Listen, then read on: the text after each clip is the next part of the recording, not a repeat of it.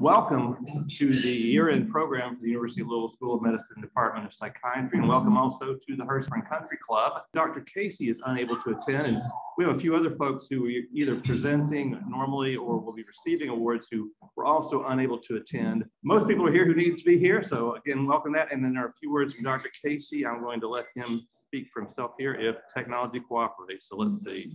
Welcome, everyone. I'm Dr. David Casey, Chair of the Department of Psychiatry and Behavioral Sciences.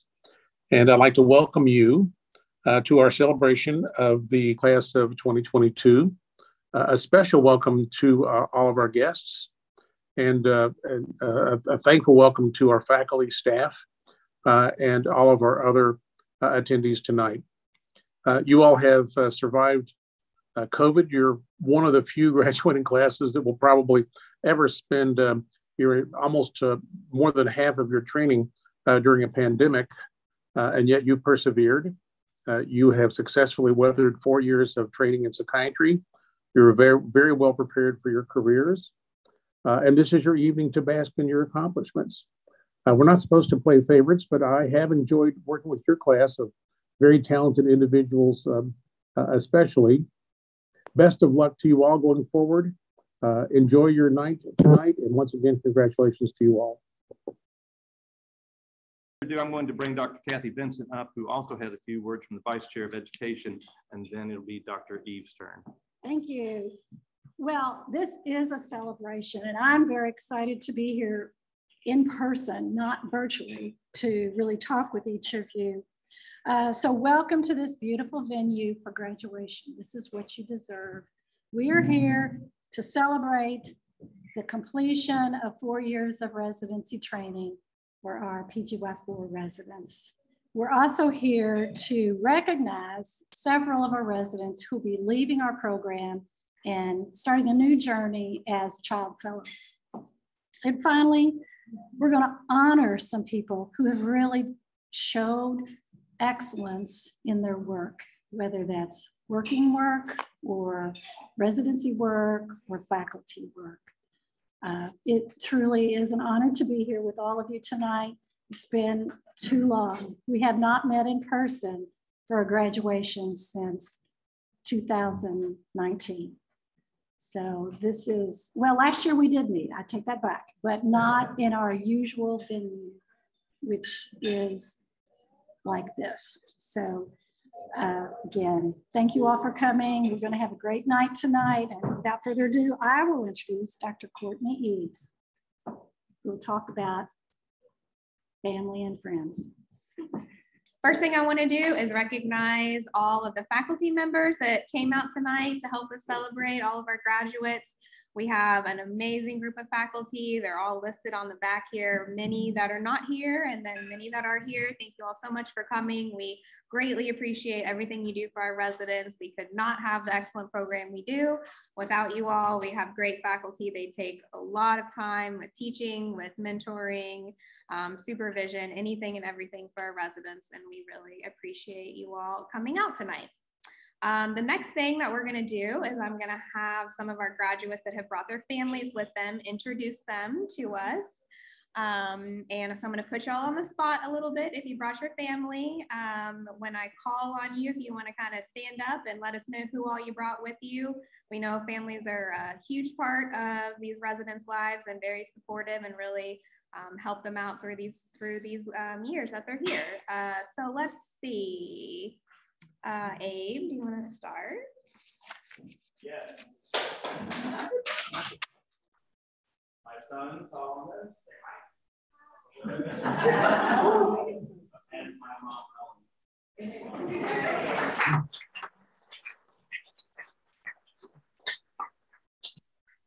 Thank you, thank you. Ali? Yeah, next. So Ali, I have our parents with me, my mom, my dad, Julia. All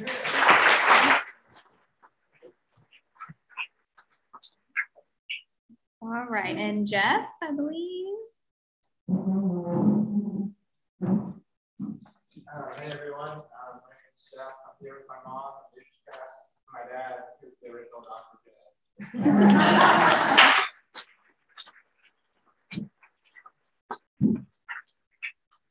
Uh, Stephen. And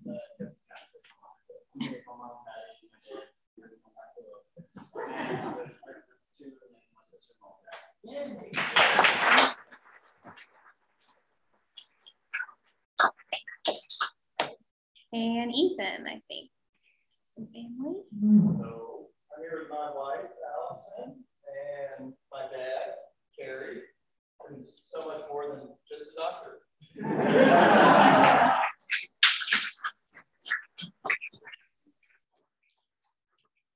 All right. And I think also Dr. Caudill brought some family with them. You want to introduce them? Just quickly, I have my wife Barbara, daughter Marissa, son Matthew. Just recognition, guys, that um, having your family around you makes this all go much better. All right, and very last, if we if, if y'all wouldn't mind, any faculty members that are here, if you want to maybe stand up so we can give you all a round of applause and thank you for being a part of our residency.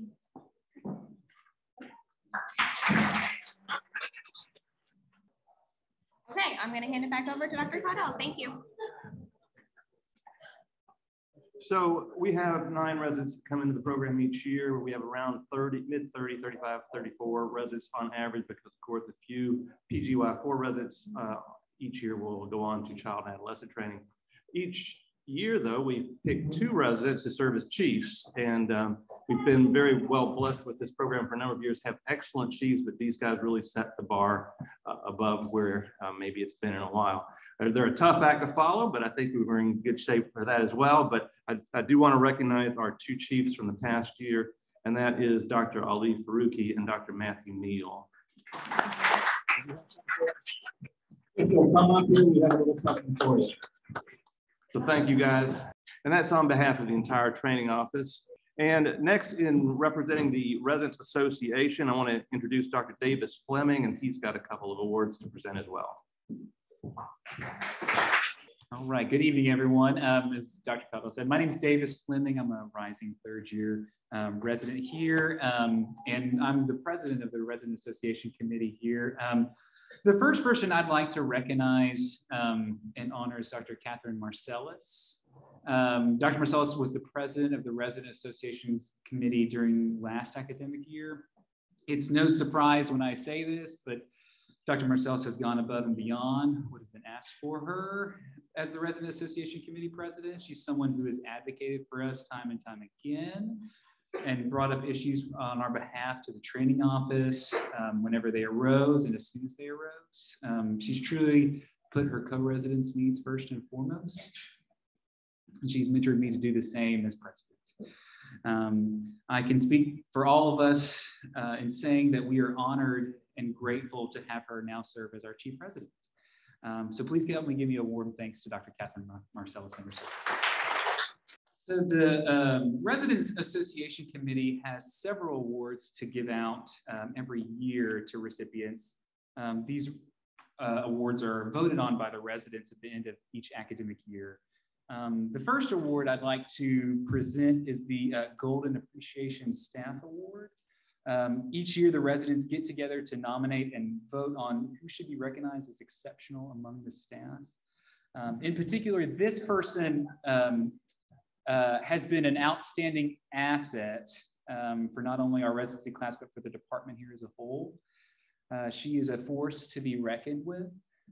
She works tirelessly to ensure that schedules are made, I's are dotted, and T's are crossed. Uh, her support for us as residents has truly been a breath of fresh air. Um, I'm honored to present this year's uh, award for the Golden Appreciation Staff Award to Mrs. Christy um, Castle Greenwell. Thank you all so much. I have to just say, I'm so honored to be your all's residency mom. I have so much love and respect for each and every one of you all. So this means the world to me. So thank you guys so much. I really appreciate it.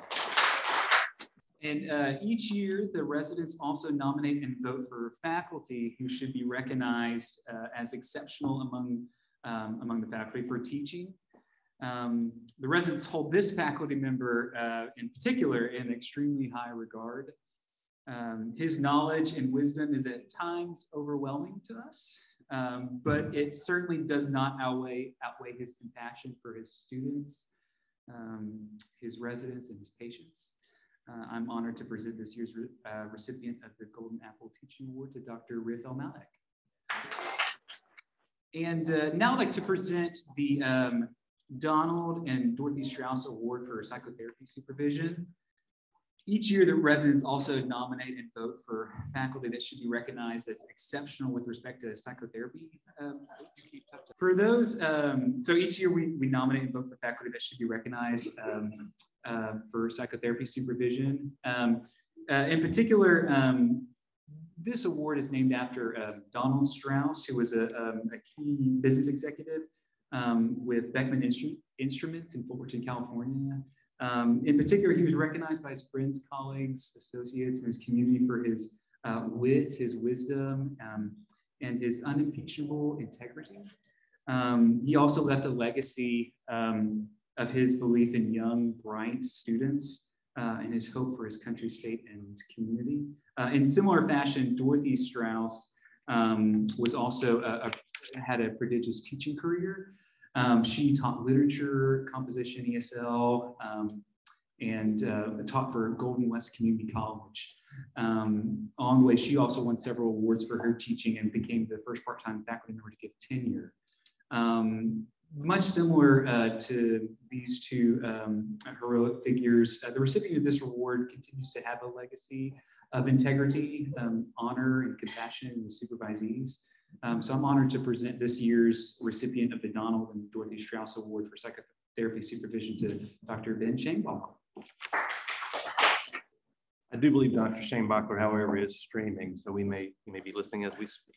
Uh, next, I'm going to bring Dr. Vincent back up. I believe she has an award to present. Thank you. So let me take you all back to March of 2020. Um, AADPRT meeting, which is the American Association of Directors of Residency Training, was in Dallas, Texas. Our meeting was March the 4th through the 7th, pre-COVID. Um, having a great time. I'm there. Dr. Caudill is there. Dr. Lee from Child Psychiatry is there. Other people that you probably know were there never thought that anything would happen with the pandemic uh, until they started calling people to return to California and New York and Washington state. And we still didn't really think much about it. But then uh, the World Health Organization declared a pandemic on March the 11th the US president declared a state of emergency on March 13th and our world changed, except for the residency. Residency did change, but we didn't miss many beats because of Dr. Robert Caudill, who is the recipient of this award, which is the, oops, uh, Make it go away.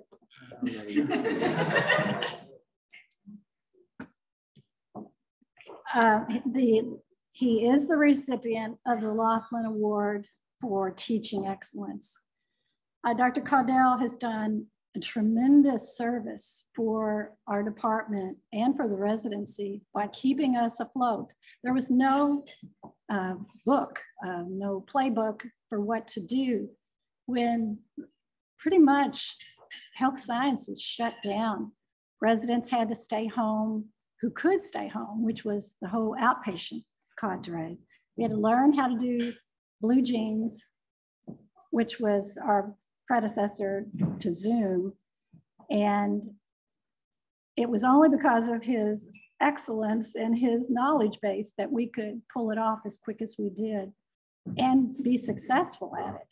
Um, he learned how to, because of his creativity and his initiative to learn how to do all this, he learned how to use Google Glass, Google Glasses with our first attempt to do virtual recruiting. We had our graduation, a virtual graduation in 2020. We had uh, everything shifted pretty much to virtual or hybrid. And he still champions, of course, telehealth, which is his expertise. But he really does care about your education much more than probably you all know. Uh, we get emails at midnight often from uh, him. So he's constantly thinking about education. So on behalf of the education group, uh, we are awarding the Lothman Award to Dr. Robert Caudill.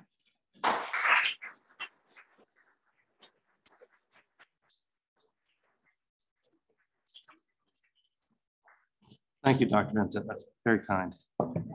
So it's my honor now to uh, introduce our next speaker, actually. And this is Joyce St. Clair, who's speaking on behalf of the contributions of Harvey St. Clair, which included the support for psychodynamic psychotherapy education. Joyce has been an advocate for this as well since Harvey's departure, and she's been a solid friend to uh, the department and the training office.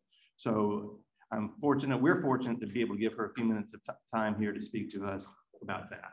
Let me tell you about Harvey. Harvey has now been dead 20 years. He was 79 when he died. Uh, he was a wonderful guy. And I don't say that because I was a second wife. He was, he loved psychiatry. He loved working with people who were long time mental illness types because nobody paid attention to him. He did. Harvey was very, very, and I'm breaking on and he can't speak against it. Um, once I asked Harvey, why do people, why do they look down on mental illness? And he said it's easy. All of us, it's a human condition. All of us look down on people who are different than we are. We were married 13 years, uh, and one winter day, I had I worked the whole time that we were married. Harvey died from diabetes. And it was the most horrible, I've never been close to it, but I'm telling you, it's awful. Um, so, but he always thought he could beat it. He couldn't. There's no way. Anyway, one winter's day, I had to go to Cincinnati to give a talk because I worked all the time. And I came home and he met me at the door and he said, I have written a poem Harvey St. Clair never wrote a poem in his life, but he did that day. I want to read it to you. It's called Hope, and I ask that you think about it. The vistas of history, the struggle of today, the mists of the future affirm man's hope. Seldom sought, oft forgot, offset by despair, hope is ever there. Not a wish, origins obscure, spawning faith, the cloak secure. Courage a cousin, caring a brother, always a friend, its presence eternal. Maimed by fear, glibly said, never concrete, it lives instead, restoring balance, assuring peace, profusing light, our unsung heritage. Never certain, not wholly ours, asking belief, a bridge to God. He wrote one snowy day. And that is on his, um, he was cremated and I had him put in a pretty box I didn't want him to get cold. So if you're ever at Cave Hill Cemetery, go in the side entrance and there's a former guard, guardhouse that's there. Go right straight in, make a left-hand turn, make another left, and there he is. And I understand that when people thank you, that when people come in, they go to that and look. He was a great guy. Uh, let me tell you a little bit about his children. All of his children became physicians. They married physicians. They did everything. We don't have any psychiatrists in the family, but we've got uh, a spine guy. We've got a lot of people that way. Um, So I guess that's kind of all I have to say, but I will tell you that he was one of the finest men I have ever met. This nice man right here, I was a widow for six years when Harvey died. I'm Not gonna do this again. So, because it was so painful.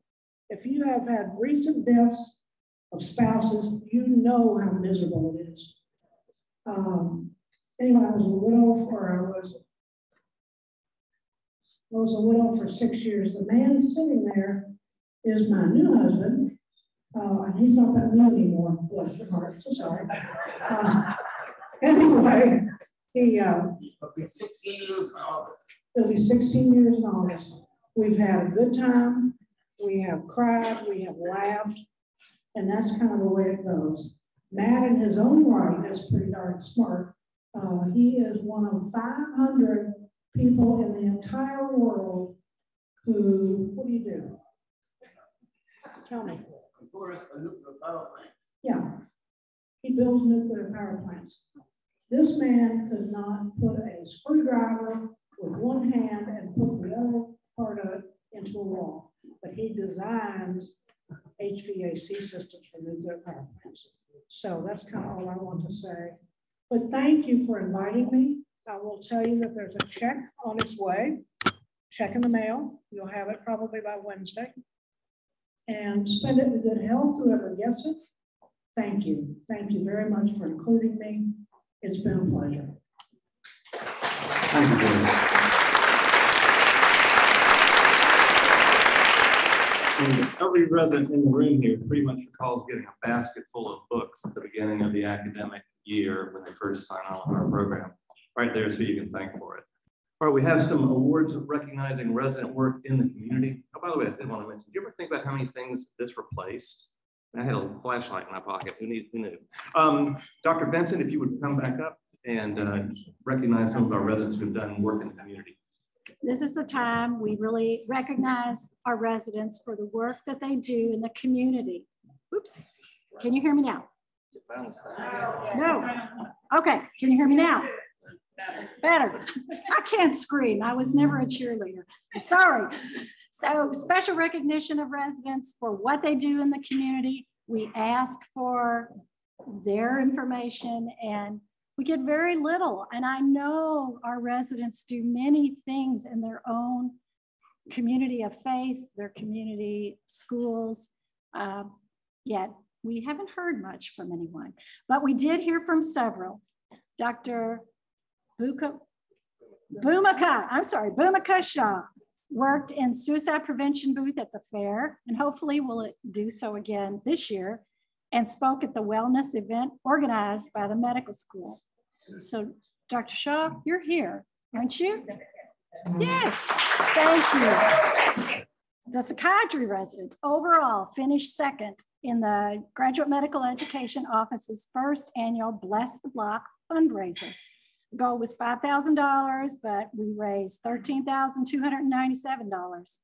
And that meant over 100 or over 10 families in a neighborhood will receive gifts that off their gift, their wish lists.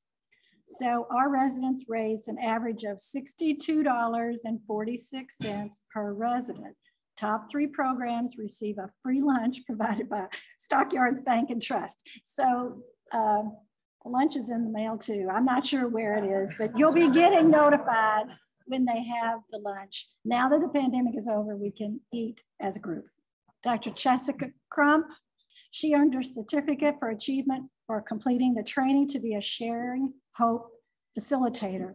And Sharing Hope is an initiative launched by NAMI to destigmatize mental illness, destigmatize mental wellness, and to communicate information, share resources within the Black, African, ancestry, immigrant communities.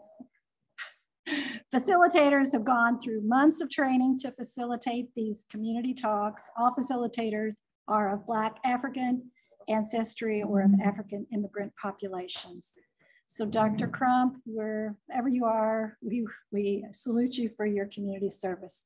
Anyone else here want to tell us something that they've done in the community? I think I, oh, okay, one more. I didn't hear about this. Oh, Dr. Faruqi uh, has been an in, in training delegate for the Kentucky Medical Association, served on the Physician Wellness Committee, Greater Louisville Medical Society, and is co-chair of the Scientific Committee of the Kentucky Psychiatric Medical Association. Dr. Faruqi, thank you. Next, I want to introduce Dr. Caudill, who will give uh, some recognition. Sorry. I do have some individual recognitions that are, worthy of mention here. Uh, Dr. Steve Love is, was clear busting some tables back there moments ago. Um, apart from his restaurant industry skills, turns out to be a bit of a prodigy on the in-service exam. I don't think this is a record that's ever been achieved before. I don't think it's going to be a repeat, repeatable uh, record, but he not only had the highest score in the program all four years of training, but he scored in the 95 percentile above each of those years. He should be writing questions going forward. So I hope you'll consider that. But, but I wanted to recognize Dr. Love on that.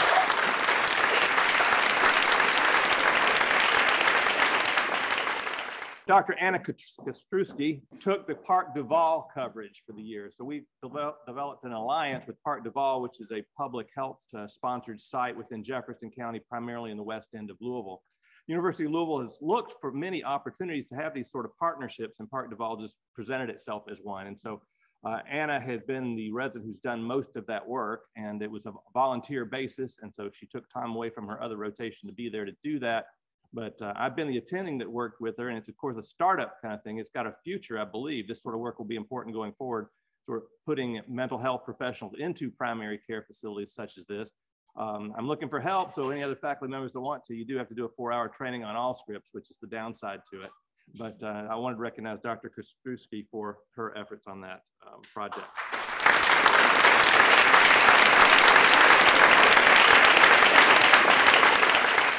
Next, I'm going to share with you the high PRITE scores and then our mind games team and tell you what those mean. The um, PRITE scores by class we recognize each year. Uh, this year, Dr. or Tyler Root is our uh, first year high score. So congratulations. We don't put, when a first year resident takes the exam in our program, they've been on a psychiatry service for all of one month. So we don't take credit for the high score. They figure they brought that with them. And we don't penalize low scores necessarily at that point because we have three years and change to uh, teach them some more stuff, but, but Dr. Rich's uh, score was quite impressive. The second year was Bagabi Anka, and she had the highest second year score. Third year score was Dr. Blythe Rescue, one of our current chiefs. And you probably guessed the high score of PGY4, the aforementioned Dr. Love.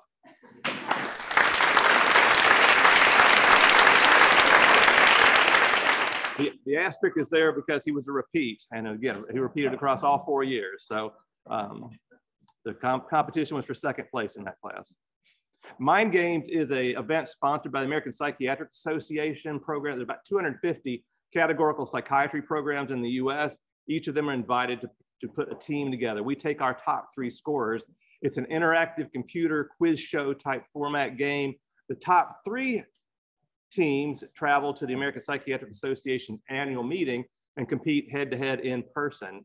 So the folks who represented the University of Louisville Department of Psychiatry this year included Dr. Love, who was the team captain for the third year in a row, I believe. Dr. Matt Neal, one of our outgoing chiefs and one of our fourth year residents finishing the program was uh, on the team as well. And then newcomer Bagabi Anka uh, was also a team member. So this is our, was our team.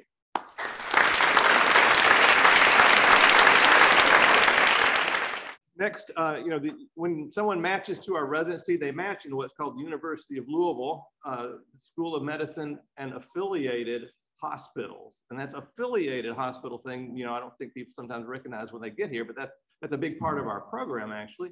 I mentioned we have 30 something stipends. That's the underlying financial support for each position.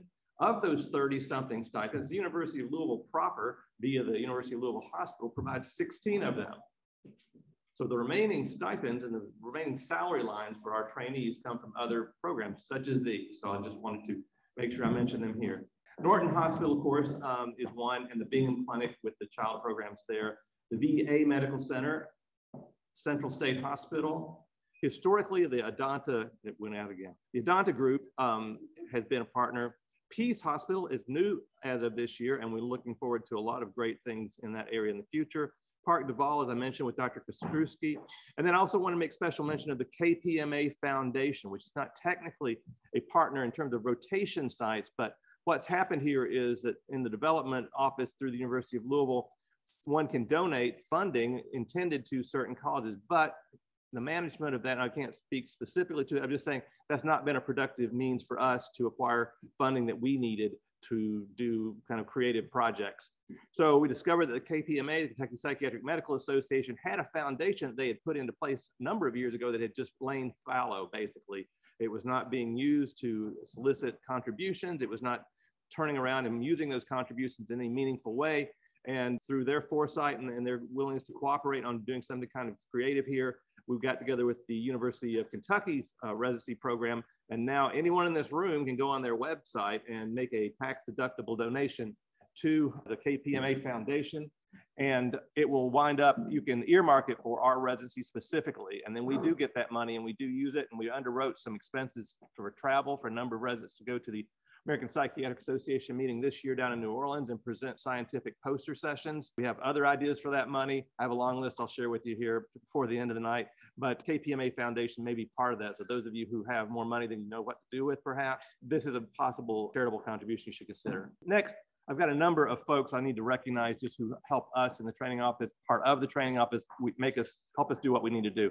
Unfortunately, Dr. Reese could not be with us, but everyone in the room here who's been associated with the program in recent years knows her well. She was our associate program director up through December, I guess, of this year. She made the difficult decision to leave academia and be home with her three children more and do telepsychiatry from home. And I'm the last person in the world that could tell her that's a bad idea.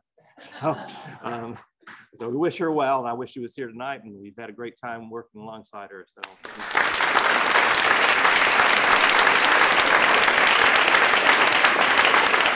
without missing a beat and waiting in the wings, fortunately for all of us, was Dr. Courtney Eves, a past chief resident of the program, probably knew the program as well as anyone else possibly could, and uh, has stepped in and done a great job so far. And I'm looking forward to see where, where this will go. They're both share this characteristic is that they solve problems I didn't know I had. I find out that they were solved afterwards, after they've already dealt with it. And I'm very grateful for that. So thank you, Dr. Eves, and welcome officially here.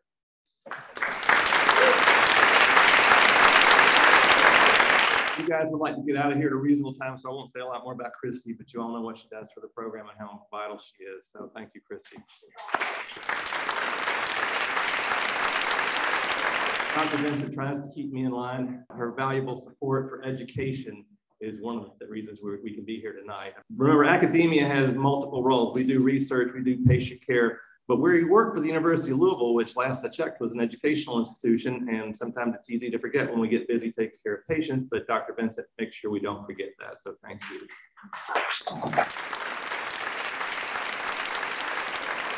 I'm working up the ladder here. Dr. Casey could not attend, but you did hear some pre-recorded words from him earlier, I believe that in Colorado. Dr. Casey is supportive of our educational mission. He helps pay the bills, certainly. So thank you, Dr. Casey.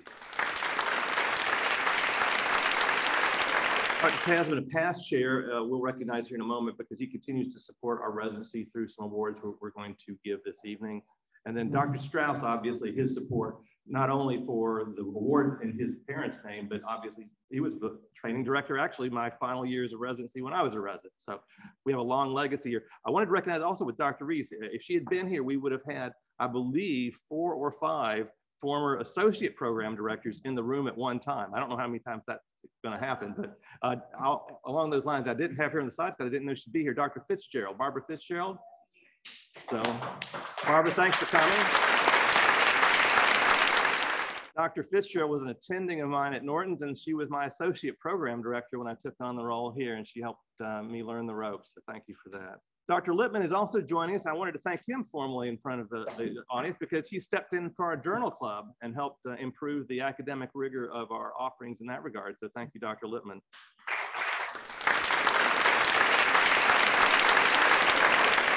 Dr. Wright is unable to attend, I believe, but, and I don't know if there's a magic number for you recognize this, but uh, this is the 42nd year he has been teaching cognitive behavioral therapy to residents.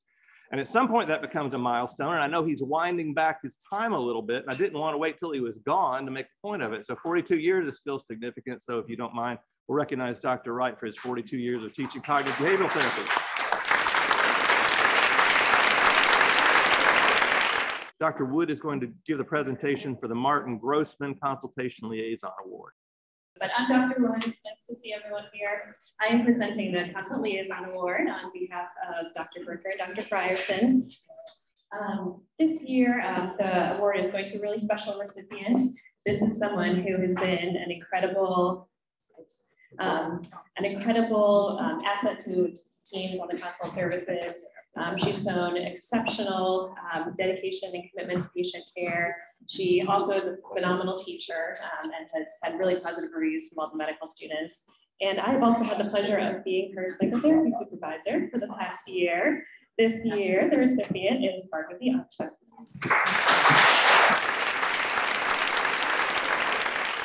Uh, the next award is going to be presented by Dr. Ike. It's my great duty to present the John Bell Emergency Psychiatry Award. Unlike the last award, there's no lore of why it's called this. I have no idea. Um, but uh, I can explain a little bit of what it is. So this goes to one lucky resident who exemplified themselves in EPS. Maybe they already saw who they were. Um, but uh, uh, most of you already know what EPS is, uh, but it stands for the Emergency Psychiatric Service. It's a standalone uh, emergency department just for patients with psychiatric complaints. Um, it's uh, it's very fast paced. It's very high acuity. Uh, it's probably one of the the fastest paced, highest acuity environments that you work in as a as a psychiatrist. Um, so we get everything from low and nats to psychiatric patients uh, who are psychotic, wanting to kill Ronald McDonald because they think uh, he stole his, uh, their secret formula to their uh, you know, recipes and crap like that. Um, so to work in such an environment, it is key to be adaptive and flexible and be able to make difficult decisions swiftly and accurately. And the recipient of this award certainly fits this bill. The most challenging aspect, though, is the ability to tolerate Dr. Salmalik, Terrell, and myself, uh, who are all equally annoying to uh, their own right. Uh, therefore, it gives me great pleasure to announce Dr. Saeed Abbas as the recipient. So where's he at? Next up is uh, Dr. Lippman. Before Lippman, Dr. Lippman speaks, let me just put a little context on things. Uh, Dr. Bell was actually a contemporary of Dr. St. Clair. And so one of the things you get to do before you become history is, I guess, pass it on. So Dr. Bell was one of the directors of emergency psychiatric services for many years, a wonderful man. I was one of his last supervisees before he retired. So um, I remember Dr. Bell well. He's, he lives on in, in our memory and in that award. Well, one more thing, one more thing about uh, Tim. He comes from a long line of excellence. His mom is a premier librarian for the University of Louisville. Well, greetings, everybody. Glad to see everybody. We are pretty lucky to be here now, depending on how the how the uh, pandemic is going, but finally we're here together. So first of all, congratulations to all the graduates and their families. Pretty important stuff. A lot of good work. Today, we're going to look at the Research Award. What about research? That's a discipline that looks to the future, how to make things better, how to make progress, pretty important stuff. So we're going to look at the Research Award. And we have an awardee for achievement in this area this year. Uh, the committee that was to try to make the pick, who gets it, was deadlocked. We couldn't make a decision. So finally, other faculty members had to join us and we made a decision. So we've got a, a pick. Um, this year's research award goes to Jessica Crump. She's not here, but we thank her for that achievement. Zubi Salman, come along, you're next. Good evening, everyone. I'm Zubi Suleiman from Robley Rex but VA Medical Center, and it is a great honor for me to present VA Resident Award today. Before I announce the award, I would like to congratulate all the graduates on your incredible achievement today. On this special day, I have a message for all the graduates. And what I really want to emphasize is love who you are. You are the only you there is. No one else has the unique gifts you have. No one else has your distinct talent, abilities, and potential. Cherish who you are because you were designed on purpose for a purpose. You are chosen to be a physician. Believe that. Always love yourself right where you are in the life, no matter how messy things get or how mad at yourself you might be. You will be with you for the rest of your life. So be your own best friend. Life is so much easier if you treat yourself with the dignity and the love you deserve. At the same time, make sure you treat others with respect and dignity and kindness. As you begin this journey in creating a life for yourself and others with kindness, the greatest joy will come from within. So that was my message. so now I would like to announce the name of the resident who's a very hardworking and passionate about her work with the veterans. She did an incredible job when she was working with me, the VA rotation. So the recipient of VA Resident Award is Dr. Ariel Bledrisky.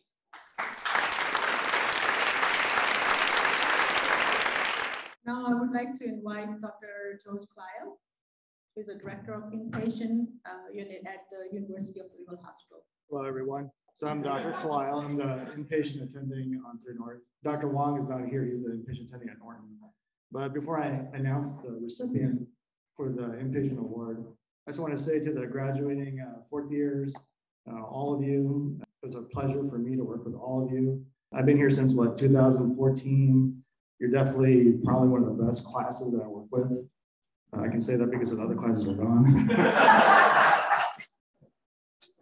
but I, but I, mean, I mean, it was a pleasure to work with all of you. And, uh, and uh, so years one, two, and three who are here, you got your work cut out for you.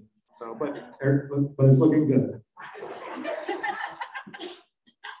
so going back to the Invision Award. Uh, so Dr. Wong and I always submit who we think is the best uh, recipient for this award and it's always difficult. There's multiple uh, recipients. Uh, in my opinion, we're all they're all winners. Um, you know what we're looking for among the usual stuff like showing up on time, you know, uh, not causing too much trouble, and uh, you know just making sure you do your work. Uh, what we're looking for is you're going above expectations, uh, eagerness to learn, seeing some seeing some professional growth during that time, improvement. So this year's winner is uh, Ali Talpour.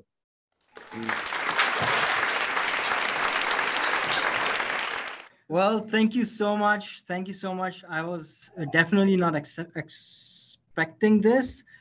And uh, yeah, this was not possible without the blessings of Almighty and the man of faith. And uh, with the constant support from my parents, my wife, my brother, and all my family and friends and my co-residents. Uh, thank you so much for your support. And Dr. Kalile, Dr. Wong, thank you so much for believing in me. Uh, just a little message, maybe it will be a little time taking, but uh, a couple of years ago, I was I was struggling to be uh, to get into a psychiatry residency, and just like when you announced my name, it went all in like flashback, and I just had that. Uh, it's it's an immense pleasure to receive this award and um, I've come a long way through this. And this is my messages to, and my award is actually dedicated to all the international medical graduates who are struggling, that this is possible. And thank you so much. Thank you so much for your support. Thank you. Congratulations. And by the way, uh, by the way, Dr. Crump is here with me. Uh, she received the award too, so she she saw that. So, Dr. Crump, do you want to say something? Well, I wasn't until you put me on the spot. But yes, um, first of all, um, thank you to Dr. El-Mallakh um, for giving me an opportunity to do research, especially when I was kind of a bit lost on what to do. So, thank you to him and um, the other students and graduate students I worked with on the research. Um, I enjoyed it, and it was definitely a surprise and thank you to the Lord, my parents, and my sister who encouraged me to do research and to do my best, and of course to my faculty and fellow residents. So, thank you. Thank you. Why, welcome. Congratulations to you both. This may be a first. We're beaming in people, you know, from EPS to uh, receive an award and speak to that. Uh, our next award is the University Outpatient Psychiatry Award. Did we figure out? Oh, wait, here we are. Dr. Eves is going to present. So thank you. Uh, a little bit background on this. Of course, this is one that a number of us uh, are involved in the selection of. Uh, some of the criteria, I think, just taking exemplary care of patients, assigning them, obviously being a team player, creating documentation that doesn't mean that the attending sitting up all night trying to correct it. So at a minimum, you run a spell checker and a few things like that. So Dr. Eves can tell you more. All right, yes, I'm very honored to be able to present this award. Um, yeah, as well, some of you know, some of you don't, our third year residents are transitioned into doing only, mostly only outpatient work during their entire third year. And this can be quite the adjustment from the first and second year, which is vast majority of hospital-based work. And this resident really dove right in. She was excellent with patients. She really has a great rapport with the patients she sees. She's excellent at coming up with a treatment plan, communicating it both to the faculty and to the patients that she's seeing. It has really been an honor to work with her in our outpatient clinic. And so I am excited to present this award to Rena Perlin. She may be listening, um, so congratulations if you're listening. So next we have a couple of sort of culmination awards. These are exclusively for the finishing PGY4 class. We have an unusual situation tonight because well, one thing that's kind of fun is that the um, presentation of these awards is being done by former recipients of them. So that's kind of cool. So the Ruby and John Schwab Award is in honor of a former chairman, uh, probably in the most of the 80s, late 70s, I believe uh, he was Dr. Tasman's immediate predecessor. And so it was primarily thought of as a academic achievement award, uh, research, writing, teaching. It's thought to, I mean, we, we try to figure out how to conceptualize these because there's two of these culmination awards. And so this one was generally viewed as the one with the most academic uh, potential uh, among the finishing residency group. And so it's my great honor this evening to uh, present this award to my good friend, Dr. Ali Baruch.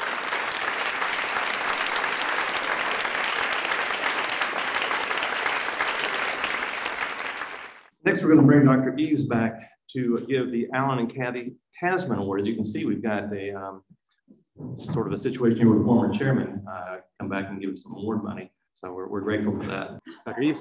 All right. So as you can see for this award, we really look for one of our residents that um, kind of well-rounded activities throughout really in the, the, entire residency. We look at clinical service, teaching, as well as scholarly excellence. We're kind of looking at all the different areas. This resident since he started has really gone above and beyond in all of these areas, really connects well with patients, really goes, he's there early, he's staying late, he's not leaving until everything is taken care of, and really enjoys teaching, has really gone above and beyond with kind of teaching both our residents and our medical students throughout his entire time here.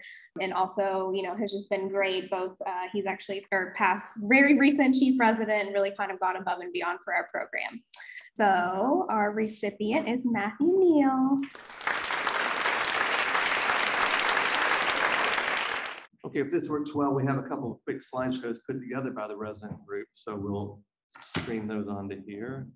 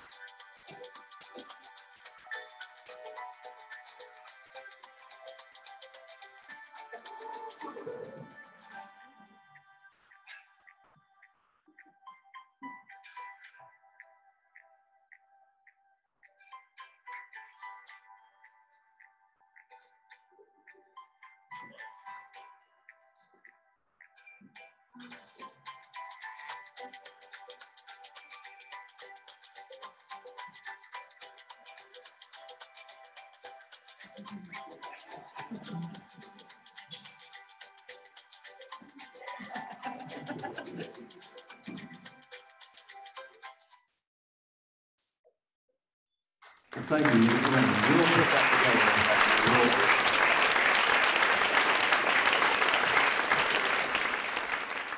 So next, Dr. Eves is going to recognize those residents who have completed three years of training and are now, now eligible to do something called fast tracking into their final two years of, are now eligible to finish their final two years in a child and adolescent program. Thus, after five years of training, are board eligible in both adult general and child and adolescent psychiatry. This year, uh, we have two such residents leaving our current third year class uh, to do PGY or elsewhere, and I'll let Dr. Eves tell you the rest. All right, so yeah, I think you pretty much said most of um, what we need to know. We have two two of our residents leaving. We are really going to miss them as part of our program. We are obviously sad to see them leaving early, but excited for them that they are taking the next step in their career. Um, so one of them, Greg Wyckoff, he's our first um, resident who's headed, he's headed to University of Colorado. Um, if you want to come up, we have a small gift for you.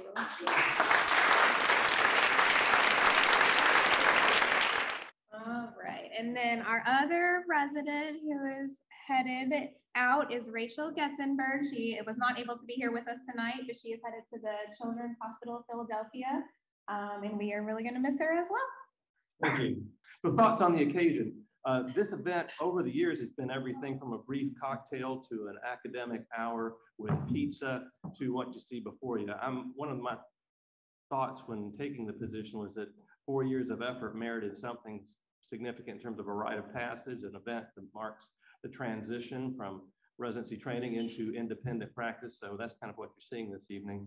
We've talked about the program, where the program's been and where the program could go. And the residents asked me, well, how do we get there? And some of the things, you know, that we could be doing, we interview candidates each year to join us and they say, well, what can you do over and above a stipend? And we tell them these are the kind of things we do if we had endowments, but just ideas. And if you guys think of ideas after having completed four years with us, and have thoughts about this, we would welcome them. We'll just add them to the list. We won't actually go out and buy them now, but we would add them to the list, and that's always helpful too. So some thoughts as you go forward into independent practice. Question everything. Why? Those of you who have been in our colloquium that Dr. Goodwin and I used to do on Thursday morning know the value of questions and how important we think that is, how central that really is to the work of, uh, of psychiatrists. If you think about it, the stereotypical answer to every question coming to us from a patient is a question coming back at them all the time and it just gets in our blood. And we so we, we questions are, are central to us. I love this quote by Richard Feynman. He was a physicist. He said, "I would rather have questions that can't be answered than answers that can't be questioned." And that's also is central to us because along with stand-up comedians, psychiatrists are the people who say awkward truths.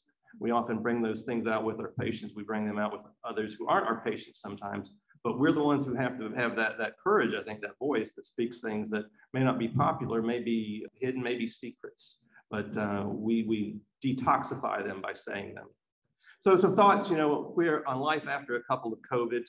This is the class that has spent probably half of your training period under a pandemic COVID regulatory restriction. And it's, it's changed things. It's, it's the question coming in was, what would that do to training? Will we be producing the same quality end product? Because we knew coming in, we were kind of warned that medical schools were not doing the same sorts of things. They couldn't when they lost the capability of in-person care. So what does that mean? It's different. So training during a time of change is, is a bit of a theme here, but there's also the illusion of permanence which uh, I wrote the illusion of change. I really meant the illusion of permanence because everyone thinks the way things are is the way they always will be. And that's it's clearly not the case if we've learned nothing else over the recent past. Many of these changes are irreversible. There's a therapist, uh, Donald Meichenbaum, some of you heard me refer to, and one of his sort of taglines is, what you've just done as a patient is irreversible. And, and what that means is that once you've learned a new skill, you can't really unlearn it. And to some degree, what we've done with all these changes that COVID brought about and the adaptations in our training programs, as well as our patient care, are irreversible. We're not going to go back and forget that we, we did, we can do things this way.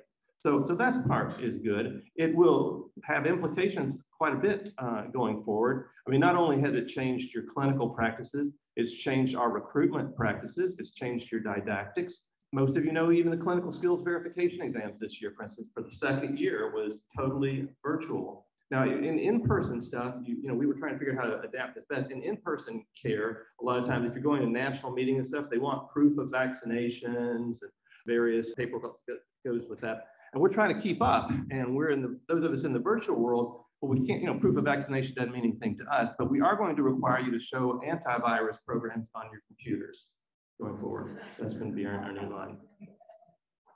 No. But if it helps you, any, though, they don't have to actually work. You just have to have them. Okay, so that's. Um,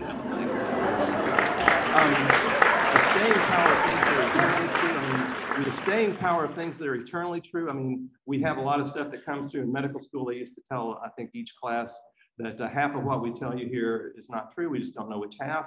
I'm not sure if we still can say that exactly because uh, sometimes I think we know. What education is and is not, though, is it prepares you going forward. So we can tell you a bunch of facts, but unless you can go out there in the absence of facts and find them on your own, we really haven't prepared you, but I think we do. I think a number of things in our program do that quite well. So I look forward to seeing what you guys are going to do in the world when you get done here. The value of certainty in an uncertain world is something else I would challenge. I mean, it's easy to get very sure that you know the answer, and sometimes it takes a while to find out you don't. So just um, be, be open to the idea that sometimes things we think are quite true may have exceptions. A book I've recommended a lot is uh, this one. Uh, it's called The Coddling of the American Mind. I slightly changed the title. I thought that I kind of like this one, this is what you guys got. But uh, anyway, uh, so now I'm going to get on to the, the real order of business and recognize our 2022 graduates from the General Psychiatry Residency Training Program. And Tom Cruise was invited, but uh, could not make it this evening. He had some sort of other commitment. These are the gentlemen, and I say gentlemen because uh, unless someone has changed since I last spoke with you, well, we all have, have gentlemen finishing our class. And when these fellows came into the program, this is what it looked like. Now you'll notice uh, Aruj, their female colleague, departed last year for Child and Adolescent Training Program. So what we wound up is, is these guys, and I, I kind of thought of them this way a little bit. You know, I, thought, I almost had a baseball team, but they've, they've done a great job. They really set a bar in, in a number of areas that's going to be tough to beat. We have one other slideshow to share with you. This one is in their honor.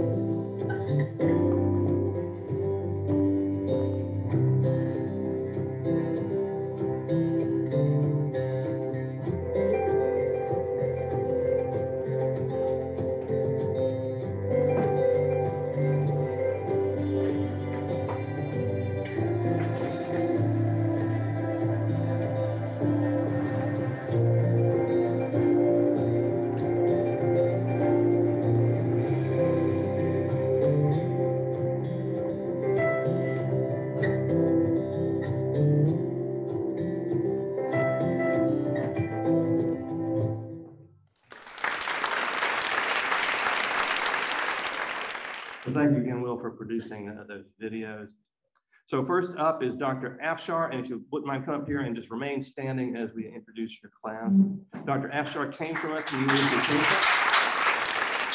Just hang up here if you wouldn't mind. He's from Massachusetts originally, trained down in Australia, actually, uh, did some clinical work in New Orleans. He is bound for the University of Vermont with his family, where he's got a position in the university there, and clinical responsibilities will be primarily in emergency psychiatry, which may be familiar to him. He's got some additional inpatient roles, and we've been happy to have him here. Dr. Abraham DeWitt.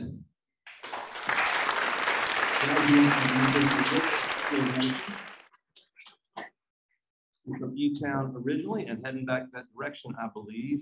Uh, he'll be finally remembered. He uh, had an interest in psychotherapy from the start. He's also interested in a, a gratis appointment with our department, and we will be fully supportive of that. And he's got company. Next up is Dr. Ali Faruqi. Dr. Faruqi is originally from Lexington. He attended school at the University of Kentucky. He came to us after dabbling in some non-psychiatric specialty kind of things, but he saw the light and joined us and served as a chief, and we're very happy to see him move on to integrative psychiatry program here with Dr. Randy Schroep, who is also a faculty member here. Many of us are close to Dr. Schroep, and we anticipate Dr. Faruqi will be having a gratis appointment as well.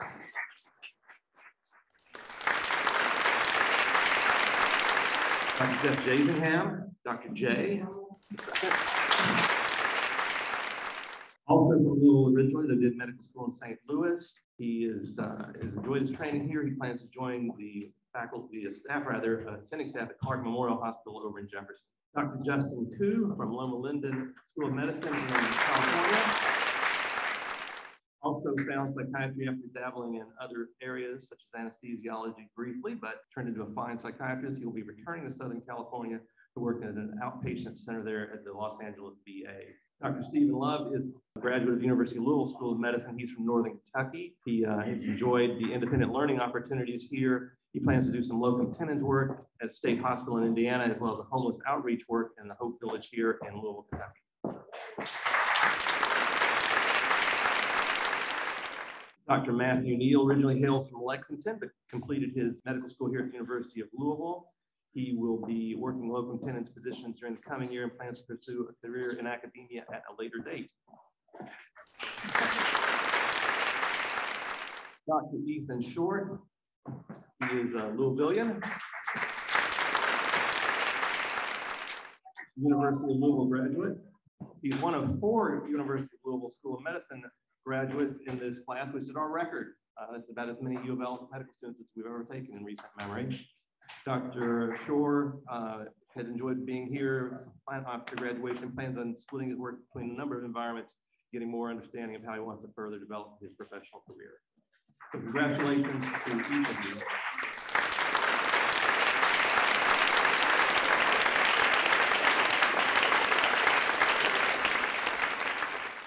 Some final uh, just wrap up remarks.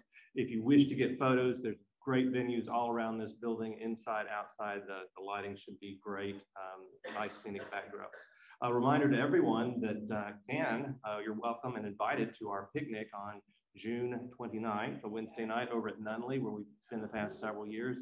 We're switching food. It'll be a little bit better, more of a cookout style food this year. So you'll hopefully enjoy that. And I think the residents have some entertainment planned as well. So please join us for that if you possibly can. I don't have anything else for the evening, so if you're driving, drive safely, and thank you again for turning up and uh, supporting residency education.